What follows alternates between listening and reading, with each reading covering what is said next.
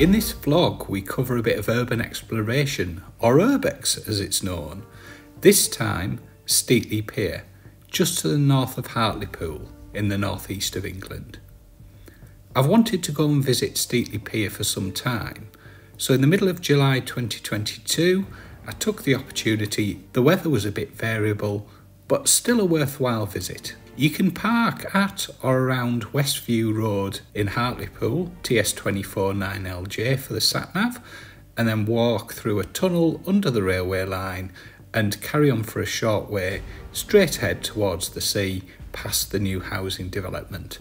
When you get to the sea, Steetley Pier's on your right. It was originally built to provide seawater to the former Steetley magnesite plant in the 1960s. Hartlepool was selected as the site for the factory because of its location close to the high purity dolomite deposits at Coxhoe and the fact that the seawater was of consistent quality and free from dilution by fresh river water. It was also near Durham Coalfield, which provided the fuel for the kilns. The plant produced an estimated 250,000 tonnes of high quality grade magnesia each year when it was operational, but has long since ceased production. The plant closed in 2005 following a series of takeovers and failed attempts to keep it going, and the main part of the plant, including the tanks and the chimneys, were demolished in 2012. The site has since been cleared to make way for new housing, which has been built where the former plant stood. What remains of the plant in the times gone by is Steetley Pier, which was used to collect seawater that was required to extract the magnesia by reacting it with dolomite.